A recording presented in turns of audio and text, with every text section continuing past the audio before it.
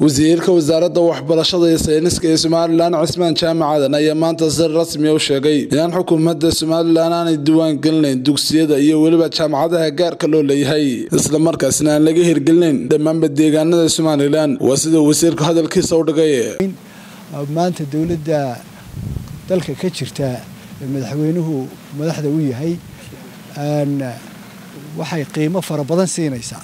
Aad iyo aad madaxweyne wuxuu qiimo weyn siinayaa waxbarashada waddanka waa ogtihiin buugagii loo qaybiyey dugsiyada waddanka madaxweynaha ka dambeeyey intii ay gaadheen buugaggaasi horumar badan baa laga soo sheegayaa.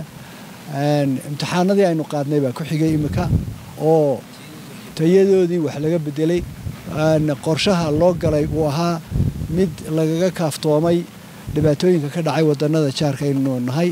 Iminka waxaa og tihiin macalimiintiinani in la mamnuucay tob tenka wixii la odhan jiray in la sheego. Ma jiraan tob ten.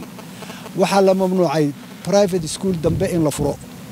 Waxaa la mamnuucay jaamicad dambe oo private in la furo. Waxaasi waa tallaabooyin wada cusub.